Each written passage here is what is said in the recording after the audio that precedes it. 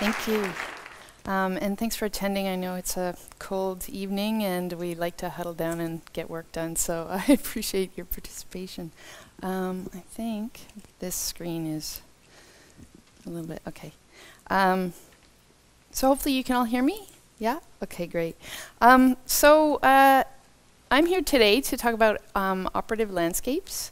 Um, and I guess really uh, the idea here, or I'll, I'll, talk a little bit about sort of um, my general inspiration um, and sort of what, what, what drives me as a, a little bit of a foreground, um, talk a bit about the book, um, but then within that, talking about the framework of the book to also intersperse, intersperse some of the works of North Design Office um, to sort of give you a sense of how what I look at in my research influences my practice.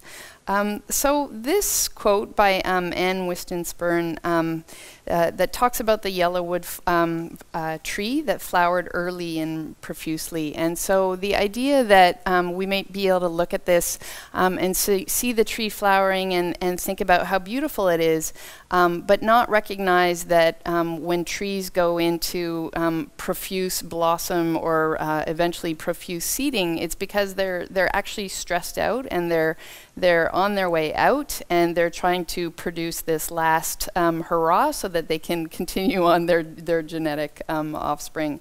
Um, and so her point um, with this here was that once a yellowwood uh, stood, no more and few know why, um, is the idea that we've lost this language of landscape, the ability to, to read it.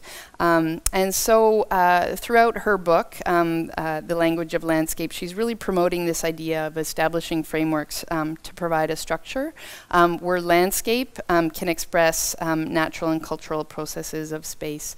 Um, and so this is, you know, a book that um, I guess is, I think the publication date is 89. So it's something that influenced me um, when I first started uh, in design.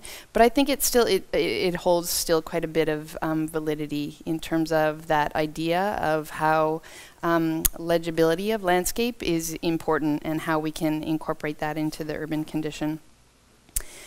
Um, so this is definitely something that um, I, I, spend a lot of time uh, observing. Um, both my uh, partner in life and in practice, um, Pete North, and I um, do uh, spend a lot of time outdoors, and a lot of that time is sort of observing uh, the the natural environment and positing um, why things change, uh, why that happens um, why certain environments might grow the way they do, like the black oak um, savanna in High Park, um, or noticing uh, a sudden collection of aspens um, and, and thinking about um, locationally why they might have um, conglomerated.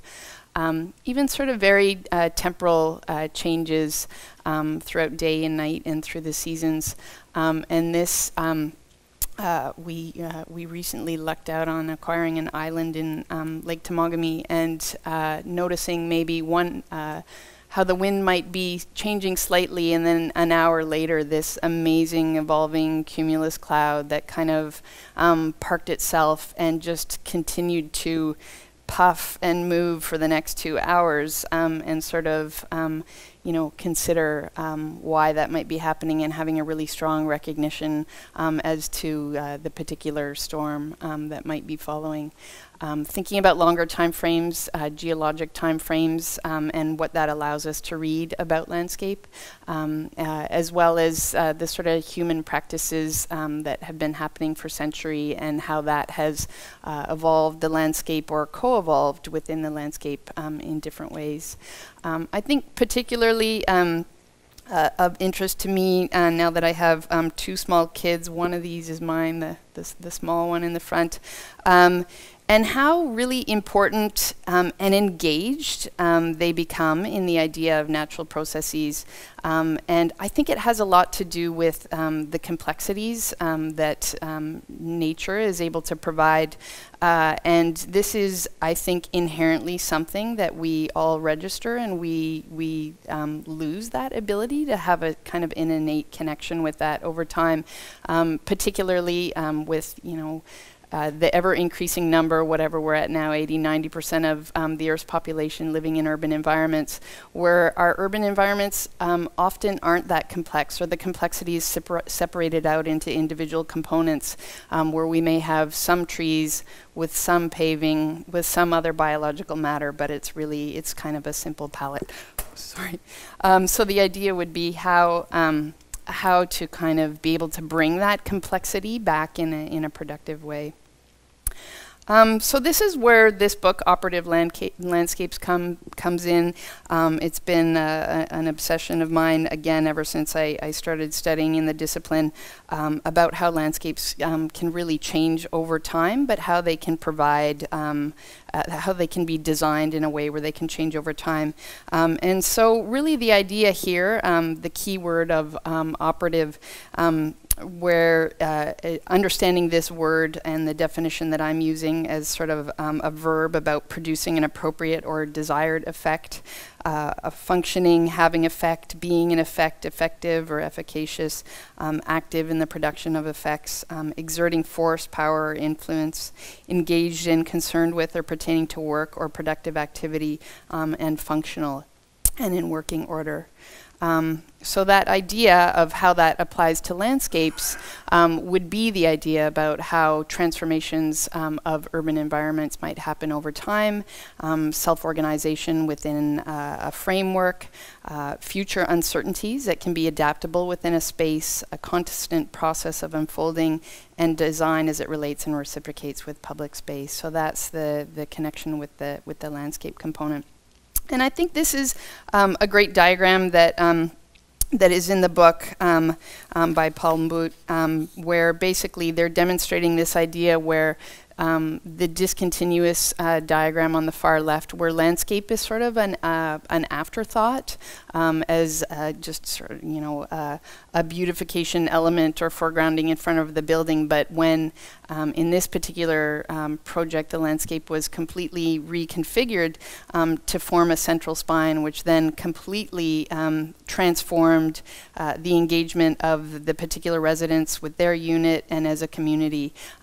And then because there was this very focused landscape structure, the community then was able to imprint their ideas on that as a public open space. And it's sort of a very iterative process. So that in a way, the diagram and this project sort of nicely um, sums the ideas about the book. Um, so it's a it's a case study based book. So I'll take you through um, the chapters, and I have um, three projects. These are um, the chapter titles, um, which in a way also follow the sequence of how projects are generally developed.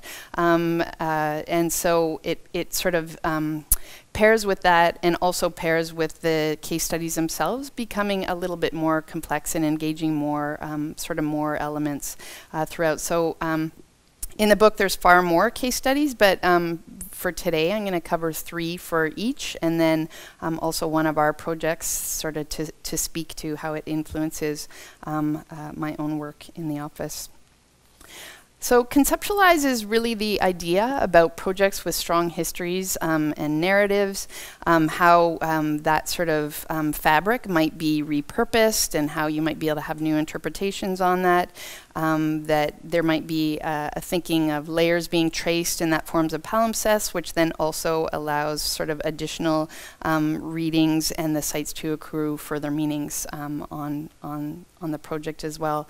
Uh, and then some projects that you know you might be familiar with that you know perhaps are indicative of this approach, um, which I should also say obviously projects have a lot of different categorizations, but I think um, sometimes it's important to uh, theoretically group and frame projects so that we can have a new reading and a new understanding uh, of, of, of their benefits.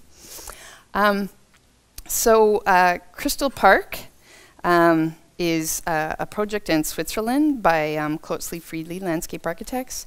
Um, and it was formerly a waste disposal site, um, which prohibited um, built structure um, due to the sort of soil capacity. And the redevelopment objective of this project was to create an open space that would serve um, a wider community and all generations. So it already existed as a park space, but it was very sort of singular functional in its, in its program. Um, and so the design integrates existing elements um, to a large extent and adds layers of use and meaning to the site which accommodate the sort of growing and newer needs of the community. Um, and so proposing change to the existing public spaces can often be contentious, um, but the redesign in this particular case successfully adapts and increases park programs while meeting broad community approval. Um, so there are new insertions. Um, there's an old age home that was adjacent to it, uh, and by bringing the park right up to its edge, um, the, the program of that with children playing in the park mixed together really nicely. Um, so those types of elements, the fact that mature trees were um, you know, severely protected, which isn't always the case when we develop, and all those types of things allowed the sort of redevelopment um, to, to move a lot more smoothly. Um, New Suburbanism is a project um, that could be any bo big box store in North America, um, and it's by LTL Architects. Um, and it's a design proposal exploring the potential use of big box retail uh, stores as a platform for innovative community design strategies. So it emphasizes the importance of land reclamation uh, as the key strategy for reversing suburban sprawl, um, un uh, appropriating unproductive pieces of suburban land and converting the land into viable community housing in public space. Um, so it really looks at um, the idea of providing a strategic lens through which policymakers, um, planners, designers, and communities can begin to reconsider the environmental impacts of um, big box store enterprises. Um, and it demonstrates a need to rethink the approach um, taken by most suburban developments. Um, so, you know, it very much is an idea about um, single-use land allocation. Um, so it's, you know, initiating a dialogue that uh, attempts to create a new and more versatile uh, suburban communities. Uh, Serenbe um, is a project in Georgia um, project lead by Reed Hilderbrand as the landscape architects and um, Mack Scogin Merrill Elam architects. Um, and it was influenced by a public stewardship program that was advocating the preservation uh, of the farmland in the face of development pressures um, during Atlanta's housing boom um, of pretty much the past decade. Um, and it comprises the largest um, remaining undeveloped stretch of forested and agricultural lands in proximity to Atlanta. And so the particular strategy for this project was to save as much as 80% of existing land use um, projects, um, and then also uh, uh, basically changed the um, uh, the land use zoning um, so that any development would have to have a minimum of 200 acres um, to sort of do a complete uh, development, and that they must be the development on that parcel must be kept within 30% of the land, um, so that 70% could be saved for agricultural purposes. Um, and then things like circulation and water infrastructures were devised to be responsive to the historical farming patterns um, and the property's topography topographical and hydrological systems. So this is a water filtration plant that sort of um, nestles itself into the landscape and becomes um, a community uh, amenity as well.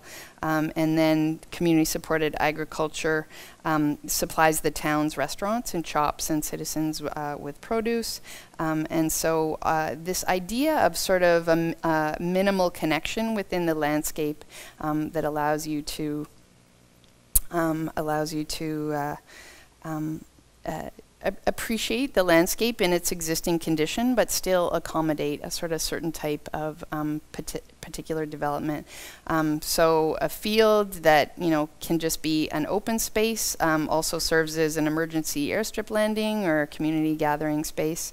Um, and then uh, it, it does have a little bit more of a quaint architectural character, um, but uh, it allows sort of these types of um, uh, events, organic pies and such to, to be enjoyed. Um, so in relation to our work um, under sort of conceptualize, um, I chose this project, um, Core Sample, which was an installation at the Métis International Garden Festival. Um, and conceptually, it examined the history and process of systematic exploration to understand landscapes. Um, and it relayed this via the gridded structure of the cores, which were related to geologic exploration, and the contextually related undulating topography as well. Um, so the core samples mark the inclination to measure and to organize the contents of a garden um, and celebrate these notions of uh, collection, sampling, and discovery. Um, there's also a correlation between very small sites and um, conceptually driven projects. Um, under plan, um, here, the idea is projects with emphasis on an overall master plan, um, which becomes the referential uh, template for sites, um, design of multifaceted sites, um, and the idea that these incremental steps of site planning could foster a mutual trajectory within a community, um, and that landscape uh, networks and open space matrix um, through the master plan technique can become identifiable as primary features. Um, and that um, with the master plan, you can um, quite easily encompass both concept and spatial layout as well. Um, so the community kind of building um, the power of the master plan as a kind of community consensus building is, you know, obviously a very sort of strong traditional tool. So um, a lot of these types of projects that we know and use as precedents all the time um, for well-known communities, um, you know, historically down to um, uh, some, you know, more uh, contemporary projects, um, sort of all really uh, capitalize on that technique. Um, this project, um, Masséna Grand Moulin in the district in, in Paris, um, is Atelier Christian de Portzamparc. Um, and this project demonstrates how urban and public space can organize and promote dense urban form, um, thereby producing a socially vibrant community. Um, the open block forms the core of the concept and is structured by a gridded narrow street pattern which connects the district to the city. Um, all buildings have door fronts that open onto the street network to produce vibrant street life.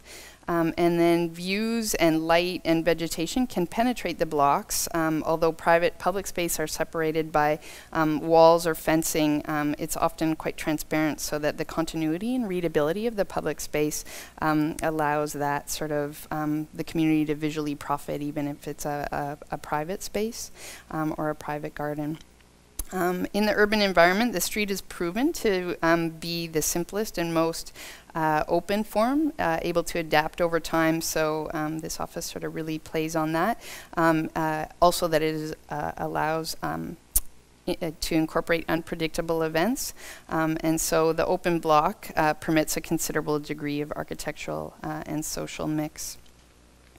Um, so again, here sort of there are um, varieties of scales of landscape public spaces, but the idea that a kind of a very intentional um, architectural block would then sort of foster that dynamic and that, that social mix. Grunwald Kirchberg is in Luxembourg by Okra Landscape Architects. Um, and uh, while architects and landscape architects are, I think, increasingly working collaboratively, um, often it's still the plan where landscape architect is sort of tasked to come up with a design um, after sort of the, the, the building layout um, has been done. Um, and so in this case, the master plan is sort of an application afterwards that then really attempts to weave together um, open spaces that were maybe much more architecturally derived. Um, and so uh, the challenge here was obviously for the landscape architect to sort of weave um, this um, in these spaces that um, lacked a kind of programmatic um, purpose or, or clarity.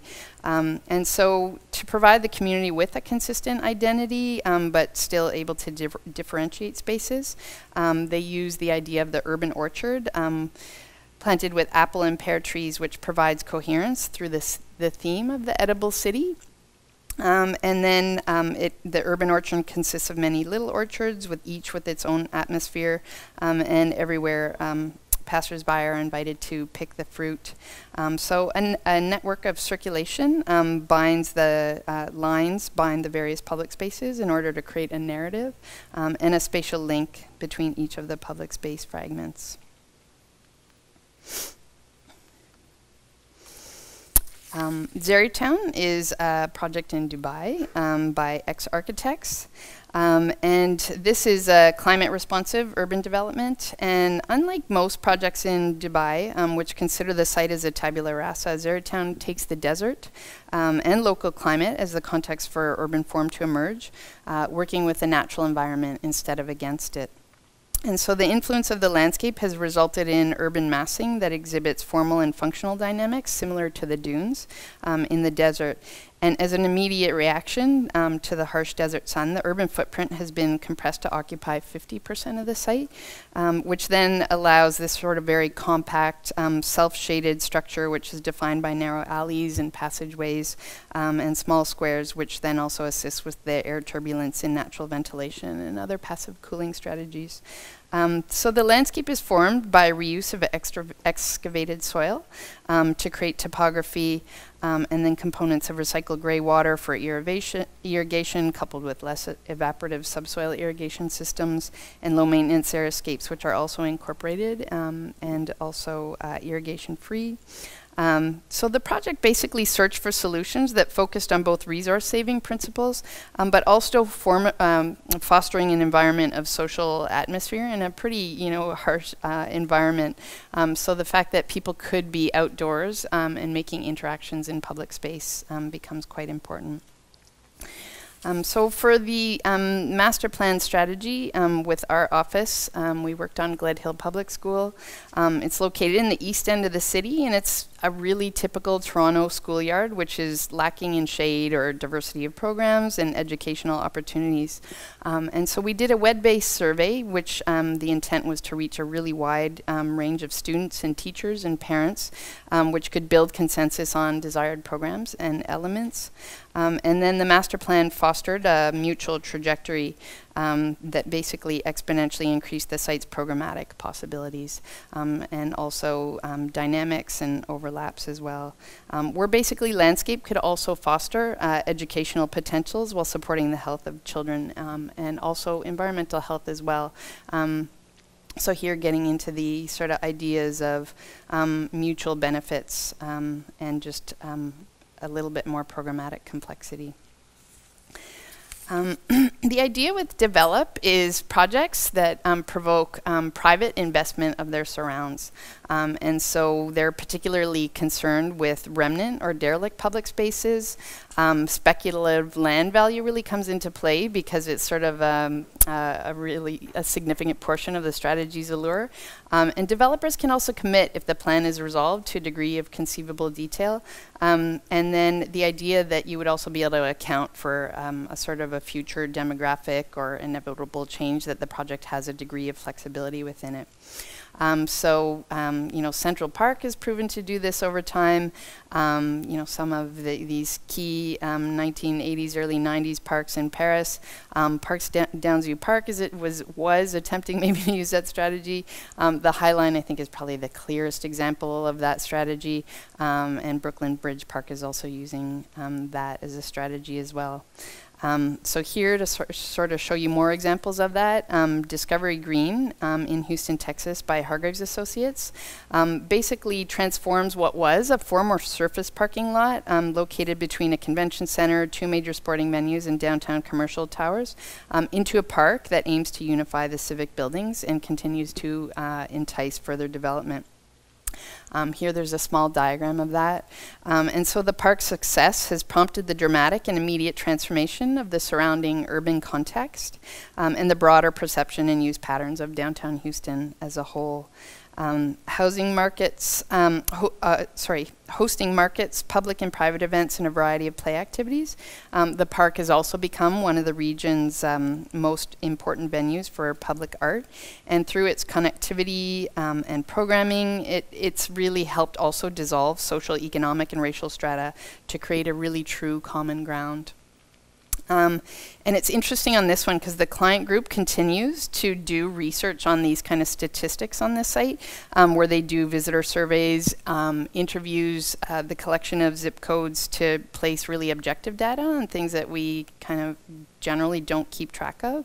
Um, and so they can really um, figure out that interconnectivity between design intent, um, programming use, and then also economic sustainability. Um, so the use of Discovery Green by a broad spectrum of local residents and visitors combined with the park's ability to cover two-thirds of its required operational revenue through events and um, restaurant leases and donations is sort of um, uh, feeds into that idea of sort of keeping track of the park's success. Um, and then with the complete regeneration of Houston's downtown, um, the park itself is um, already sort of paid off as, as, as an investment.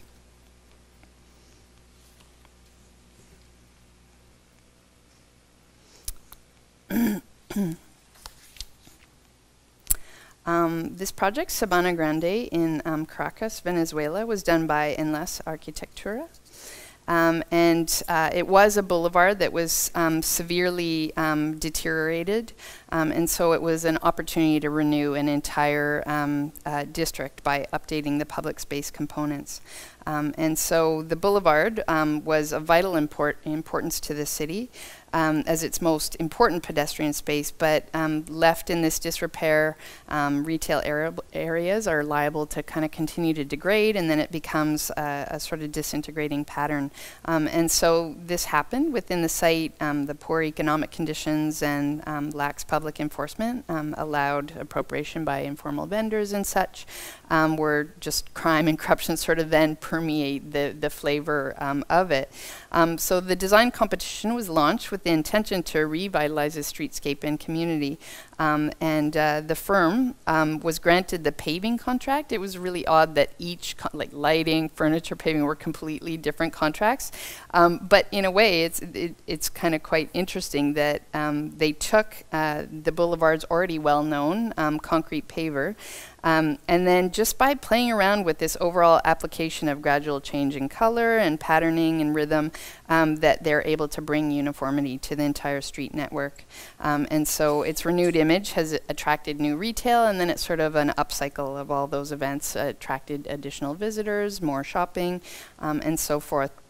And I think the project's striking clarity, but sort of with reference to its historical references, um, demonstrates that um, well-designed public landscapes can renew desired cultural qualities. Um, and then uh, I guess the idea is that furthermore, it's it's pretty impressive that this idea of the the use of a single key element. Um, uh, you know that uh, can can really foster complete community transformation through just you know this idea of a single paver. Um,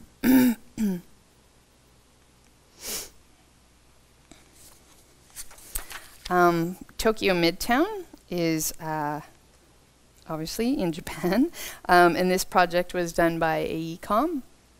Uh, and this basically, uh, the project synthesizes the common experience of shopping um, known to um, uh, residents of Tokyo with the uncommon experience of, of, open space recreation. So the idea of open space is um, not, not very common um, within the downtown area, but it does so in a manner that respects Japanese vernacular form, material, plant aesthetics, while also understanding the contemporary city.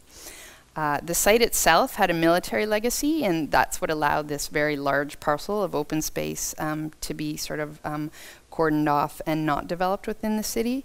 Um, so the developers took this as an opportunity um, uh, to play with the ratio of solid and void that you would typically find in Tokyo, um, which you know completely runs uh, contrary to convention. Um, and then with that bold gesture of allotting half the property as park space, um, uh, then affords the developer grading building height, um, thereby simultaneously accomplishing both unconventional public space and very dense building form. Um, so it really alters the definition of urban renewal by placing greater emphasis on the role that landscape plays in shaping and shifting not only built form, but also the cultural um, behaviors of human interaction. And so it's a successful integration of the outmoded site into its context was premised on um, evolving uh, community behavior, which I think is really indicative in this slide because to um, lie back in a public space in Japan is really um, unheard of. Uh, so that idea that a new project would be able to evolve a cultural behavior I think is quite powerful. Our work here um, is uh, this is a first place winning entry in the um, Bridging Prague competition, which envisions a strengthened park um, and green space network uh, in and around the city. Um, and it capitalizes on the underused sites uh, found uh, adjacent to the uh, River um, and really tries to um, make the river as kind of the central linking strategy. Um, so the proposal positions the river as the catalyst for park enhancement and renewal, which is um, then projected to induce private investment as park supports and, and contextual uh, stewardship input. Um, so the park, as a contiguous system, uh, accounts for long-term change as well as being able adaptable to occasional flooding. Um, so um, again, kind of demonstrating sort of the layering of purpose uh, and program to bring uh, complexity and diversity to a site. Construct uh, is the idea of um, more um, uh, technological innovations or remediation strategies, um, maybe as a starting point operating from um, convention and precedent, but then really developing new ideas through creative uh, creativity and innovative techniques and developments of new materials. Um, Site challenges um, in this particular, at this sort of construction phase, often result in original and inventive solutions, um, and remediation is an influencing factor and positive reminder of a transformation uh, process. Um, so uh, a lot of these projects, uh, much more contemporary, um, uh, particularly Duisburg Nord, um, Westergasfabrik, we really know as sort of key remediation projects. Um, Sydney Olympics also dealt with a lot of remediation strategies, um, Fresh Kills, uh, Olympic Sculpture um, Park, and um, even our own Toronto Central Waterfront has had to um, do a lot of creative construction in regards to some of those issues. Um, Belval West is in Luxembourg um, by Bureau Lubbers. Um, and it was a former iron and steel production site which actively engaged in the site's industrial landscape to promote a strategy premised upon the reuse of its structural and natural succession um, vegetative features. Um, and so critical to the project's objective of recalibrating the site and careful articulation of its phasing strategy um, uh, to encourage density while preserving the core of the site's vegetative character. The master plan prioritizes the implementation of public space and infrastructure which uses these open areas to strategically guide built form um, and phase its development. Um, so the idea is that design interventions are minimal because it's such a long-term project that they're minimal during um, uh, low development times, which just allows for natural succession to happen in the landscape um, uh, spaces. Um, and then during times of intense urban development, that public space is has sort of been um, used as a placeholder, which then allows um, current community requirements to imprint on that particular um, landscape associated with that particular phase of development. Um, so there's sort of temporary um, sort of characteristics, um, but that overall there's this sort of phasing strategy with an intentional um, uh, mixing um, of, programs and housing units and cultural facilities that um, helps further remediate and develop the site, and that it sort of develops a rich uh, palette of materials and a, a kind of registering of incremental growth. Green Square Town Centre um, is uh, a project in Sydney, Australia, done by McGregor Coxall. Um, and it's a large-scale economic and environmental restoration project, um, which comprised an amalgamation of um, several contaminated industrial lands. Um, and the kind of key central aspect of this is um, uh, redeveloping or rethinking uh, a hydrological uh, landscape-based infrastructure system um, that basically replaces uh, what used to be stormwater flowing through a pipe. Um, so the green engineering mechanisms, um, biofiltration um, for non-potable water uses, um, end up providing 90% of the water needs for the entire project, um, including all the residential and commercial uses as well. so the idea that water forms a resilient and functional urban ecological network that really sort of drives a lot of the project development. And then the landscape plays a vital role in generating community activity, promoting community cohesion, and environmental stewardship. Um, so the project really exemplifies that reintegration of ecological systems is not only possible in the urban context, but that resilient design of ecologically grounded public space can actually serve as the central motivation for urban renewal. Um, this project is particularly satisfying because it's a former student that was lead on this project um, at uh, SWA Group. Um, and so uh, it's nice to see that there's opportunity to actually um, implement theory. Um, so this Nanhu site is currently a tapestry of small farms and canals in the Yangtze Delta. And with the completion of the high-speed rail to Shanghai, the new community is designed as an alternative to the um, prevailing um, intense urbanity um, really by retaining um, farmland and the historical cultural significance of this farmland. Um, so it deals with issues of polluted and degraded environmental uh, conditions by maintaining and treating its extensive canal network um, and rethinking farming practices and economies of scale, and also repositioning the community as an agricultural center of organic food production um, for the surrounding megacities. So um, really sort of rethinking how um, traditional uses can come into play, but updated into sort of contemporary desires and needs. Um, so retaining these traditions, um, family farms, uh, uh, while also introducing larger production areas as well as sort of um, 100 hectare organic farms. Um, so that agricultural history is maintained through production of organic herbs and um, fruits and rice and flowers, um, while new farming technologies um, allow sort of farmlands to increase in quality and productive value. Um, so as farmland is quickly eaten up for urban growth, NANHU provides a model to inform housing options, um, while at the same time increasing the productivity of the land and improving environmental quality. Um, our project here, looking at sort of um, uh, technologies and incorporating those types of technologies was uh, a temporary run, it was about two, three year installation project um, uh, in Cleveland, Ohio. Um, and uh, these forums uh, were designed to refer to Cleveland's relationship to industry, craftsmanship, and innovation. Um, and they represent the use of new technologies and materials, thereby suggesting possibility. Um, the form-fitting fabric um, uh, came and went with the seasons um, that talks about to the relation of uh, biological renewal and decay um, and were internally lit at night powered by flexible solar panels woven into the fabric. Um, the project introduced more than uh, 4,000 square feet of native Ohio grasses into the core of downtown, um, and then ever changing in appearance um, and uh, kind of also in support of uh, urban wildlife, which um, was supported by the grasses. Um, so the herd of pods not only transformed material possibilities, um, but also uh, the use of the space by enticing evening use, um, which was typically really um, vacant and uh, within the downtown uh, core of Cleveland. So this last section um, of Evolve um, is kind of really gets to um, the heart of the intention of the book and, and what it's really looking at. Um, and so they're really projects that prompt um, renewal um, and continual improvement in kind of a, an iterative way. they look at landscape as infrastructural framework to accommodate flexibility and landscape architect crafts the logic that helps or sets the framework that helps evolve the community.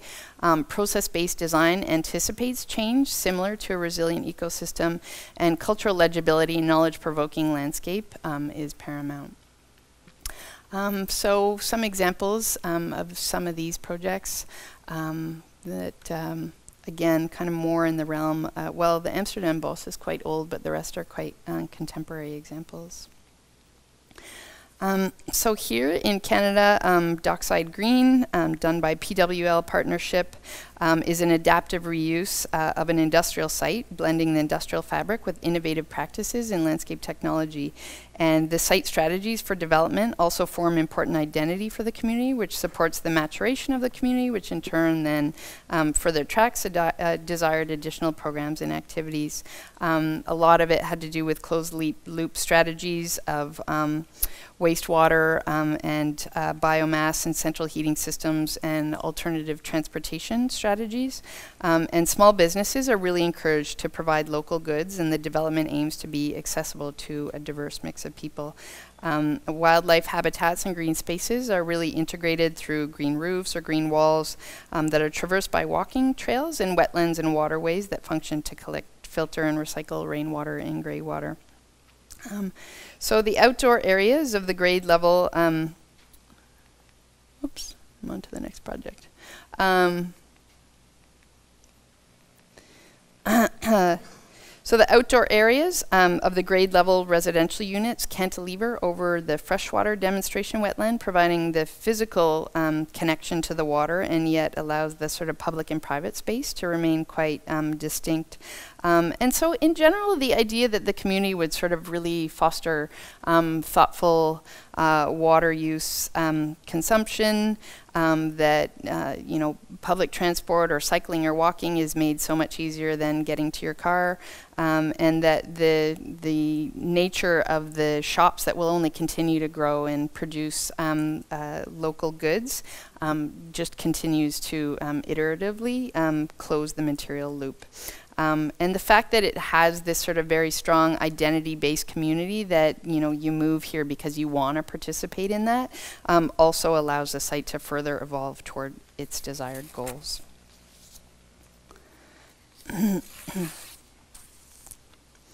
Um, EcoBay is a project in Tallinn, Estonia that was done by Schmidt Hammer Lassen Architects. Um, and it's adjacent to a nature reserve, so it's envisioned as a new independent mixed use district. Um, and with green strategies for infra infrastructure development, um, the de designer's intent is to provide a multifunctional structure for a diverse and vibrant community intended to develop an organic self-organizing capacity. Um, instead of adopting a rigid grid, this scheme introduces a system of dunes spreading across the site to significantly reduce wind speeds um, along the exposed coastal edge. And the public space system seamlessly integrates the variety of districts uh, in um, uh, and minimizes the need for transportation, public amenities located within walking distance from all homes. Um, and the public landscape is combined with biodiversity corridors that connect the site's green areas and existing nature reserve to establish a new uh, ecosystem. Um, reed beds uh, filter water and uh, clean gray water, which again irrigate all public landscapes. And the relationship of architecture and landscape sets the framework for the site to continually develop its own organization as a city left to grow of its own accord. Um, as the final case study project here, this is in the Netherlands, um, done by Bureau Lubbers, and it's actually one of the oldest projects in the book, um, but I think sort of really encompasses this idea um, uh, uh, of allowing um, uh, the kind of landscape to, to form the backbone of the community. Um, so it's the community project um, that's capitalized on landscape to enhance the community's infrastructural performance capabilities. Um, and it's really inspired by the visual opportunities that are afforded by the surrounding forest um, area uh, and the canopy. And so the design team arranged the housing units um, to create um, a spatial effect where the houses are sort of sitting within um, the tree canopies and forming these um, outdoor rooms. So the dense planting strategy allows the houses to feel like they're really nestled within that topography and within their location, um, which is, you know, makes everything sort of feel sited. but then there's this additional layer of uh, rainwater collection system that serves the purpose of collecting collecting, containing, and recycling uh, rainwater in ponds that vary in design. And uh, you know, a lot of projects have been using this technique in gray water and filtering and so forth. But I think what's so interesting about this project is that it really allows you to see it because it's funneling through the curves the way the street's been designed. Um, you can um, search this project on YouTube and see some pretty incredible rainstorm events happening. Um, and so the fact that the the operation of something so simple as drainage is made so visually um, recognized within the project, um, I think really is its strength. And so the project is based on a spatial planning strategy that shares a close interaction um, with natural features made further evident through the use of landscape as infrastructure.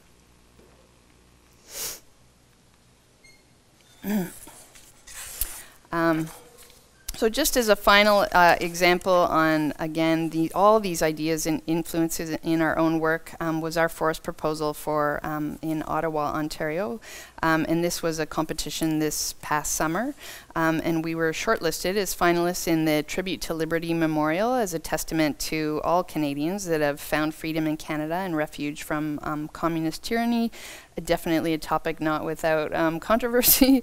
um, but uh, our office's proposal um, drew on the forest as formal inspiration and meaningful uh, metaphor.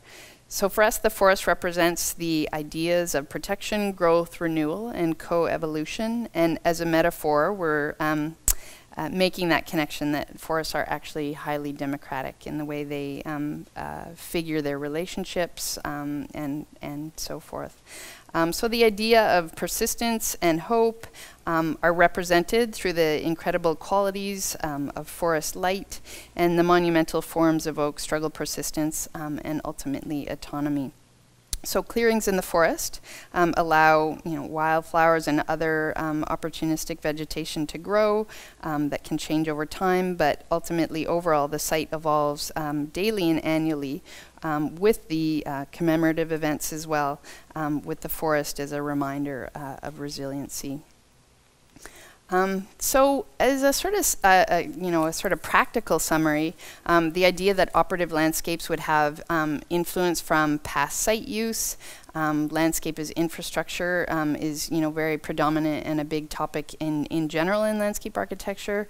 Um, the idea that there would be educational opportunities tied in with these projects, government and regulatory support tends to be pretty much necessary for all projects. Um, energy technology, recycling, um, walkability becomes really huge. Um, the idea that they're programmed yet flexible, um, and then certainly um, thoughtfully designed, um, which is all of our role.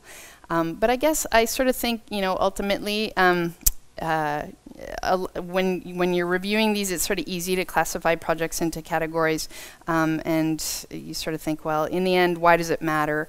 Um, there's still, you know, individual projects that are all, you know, trying their best to sort of make a difference in the world with um, the best technologies, you know, coupled with um, standards that we've known in design for a really long time.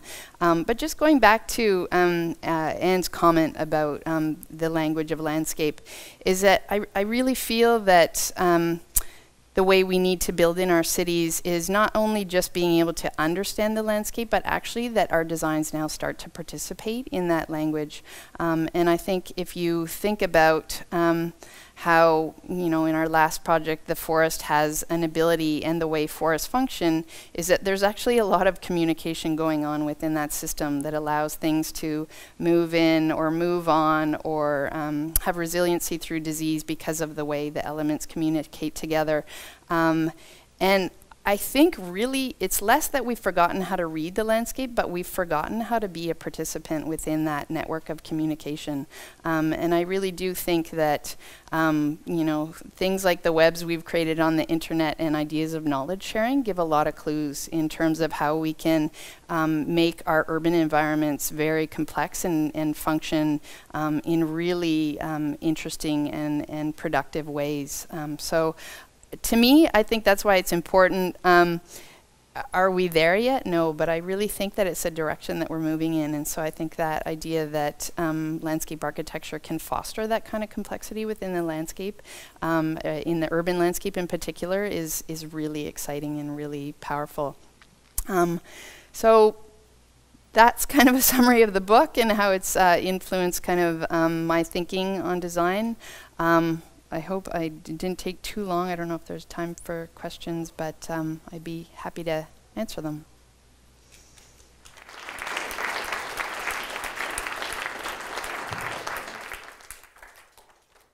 Oops. Mm -hmm.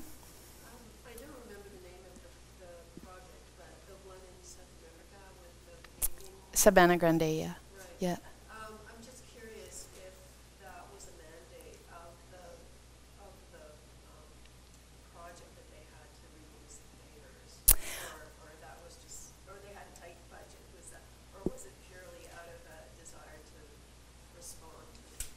Right, right. Um, I actually, I actually spoke to um, her. Her name is Elisa. I actually, I actually spoke to her about that, and now I'm forgetting if they made the decision to use it so that it would have recognition, or if they were mandated because it was a, a, a city use pattern. Um, but it, it was um, it was somewhere within that option. Um, but the fact that she just made the most of it, I think, was was pretty incredible because it really is that. It's got to be the most classic um, paver shape uh, globally. Um, so um, I, I could follow up with her and ask again which option it was. Yeah. Yeah, I don't think that, I don't, I don't think they did, but, uh, but that would have been a nice layer. A question regarding uh, Toronto. Um, the south side of the city versus the north side is divided, well, in the downtown core is divided by the highway and the train tracks, and that's always been a controversial subject to remove the highway, the main artery that connects like the outside suburban areas into the downtown core. Um, but then like there has been like talk where there is a park could be suggested to be built over the train tracks to like make it a more like inviting environment. Mhm. So, um, Oxford uh, Casino, I believe it was, they said that if they were ever to bring um, a casino into downtown core, they would actually um, bring landscape and they would make it a public space. They'd make it into like a, a place where people during the summertime could watch movies. They would want the people to be integrated into more of an outdoor uh, lifestyle. Mhm. Uh, but then Toronto said, City of Toronto, they, I don't know what the technicality was, but they voted against like bringing the casino there. So that plan kind of like went away. And with that, the potential of like uh, covering up this train track, Mhm. which I think down in the future it will happen because there are projects that are suggesting connecting like um, there's, a, there's a terminal project for the GO bus that Mhm. would link apart. And they, they're offering a small um, kind of bridge that would be uh, landscaped as well. Right, right. Um, and then also the new redevelopment of Union Station is, uh, I think they're going to be putting on like green roofs, Mhm. only for like where the uh, trains go under. Um, so do you think that, like, what's the pushing factor to make the city want to incorporate it? Or do you think it's just going to happen over time that eventually um, they're going to say, okay, you know what, this is an eyesore, let's, um, we need a green space for people. Mhm, Then mhm. go, or like, um, like, how do you get away with these red tape rules? Like, Uh, you're, you've got a lot in your question, um, but but I, I I think that I think the essence of it is that um, I- guess I guess I for me it always uh, seems to be a point of criticality, um, and so it, it gets to a point where we can no longer uh, provide a solution that doesn't have a green roof, um, because it's you know proven itself to be effective in reduce heat island effect, and it has other benefits in terms of encouraging development and so on and so forth. So I think those ideas that um, uh, we need to figure out how to design in a way where mm, you know multiple objectives are being met, but multiple objectives are also being suggested to start off in the first place. Um, I, I think there's a lot of productivity in that. Um, uh, how to get through, you know, red tape of, you know, um, single vision counselors. That that is a whole different. that's a whole different topic. um, It was a broad Yeah. question. I was just Yeah. interested, like, there's any, like, it, there's been tackled, like, people have approached it with solutions, but then, like, um, it, well, you gotta either, like, give it to this part. If you don't give it, well, then we're not gonna give it this, you know? But, like, it seems like there's a willingness to tackle the solution, but then it just, it slips through the fingers. when Right, right. And so that's what I think part of these projects are really trying to look at as well is to find out when those um, proposals start to become mutually beneficial so that it's not saying, well, you know, you have to cover the cost of the green roof and it's a loss to you, but we're just going to set it in as policy. Um, like we need to get to a point where we're designing and we're thinking and we're proposing in ways where the the benefit is mutual. So it's not like a required condition, but that it's actually you know uh, functional all around. So I think that's where we're just not necessarily um, smart enough in our communications to find what those efficiencies are just yet. Um, but uh, I it, like it's it's going to come. You see you see cities like Philadelphia, and they they've decided to pull away from, you know, single-use uh, engineering structures to deal with all their urban stormwater runoff, and they're implementing a myriad of possibilities of green infrastructures because the the cost of digging deeper, bigger, further, more concrete is just not viable anymore. Um, and so that's where that idea of a kind of a critical point coupled with benefit for all is is really I think where where things are going to happen and they need to happen. Hmm? Let me ask about the other end of the projects now. Um, What level of, well, I guess sustainability, maintenance, et cetera, really does have to be considered so that in fact, once the project is cutting through red tape that exists, et cetera, and now we have to maintain it. Right, right. And so um, for me, I, I have this really idealistic vision that talks to the last chapter of this book of evolve